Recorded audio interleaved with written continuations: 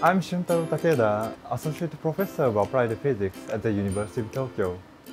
I received my PhD in Applied Physics in 2014 and in 2019 I became an Associate Professor and started my own research group. In our lab, we explore new ways to perform complex and high-speed computation.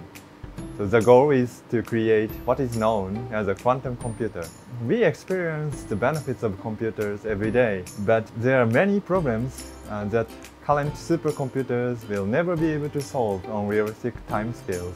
Quantum computers can outperform traditional computers in many kinds of tasks, material design, optimization of financial or logistical problems, and artificial intelligence, and so on. To perform functions, quantum computers control waves and particles at the smallest known scales. Some are based on atoms, some are based on electrons.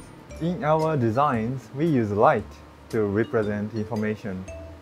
So as well as electric components you may find in classical computers, we also use uh, optical components such as lenses, mirrors, and crystals. An optical quantum computer has unique advantages. For example, it works without vacuum or cooling systems. Recently, we discovered a new design to perform quantum computation with an optical circuit arranged in a special loop structure. Uh, the apparatus is small enough to fit on a desk.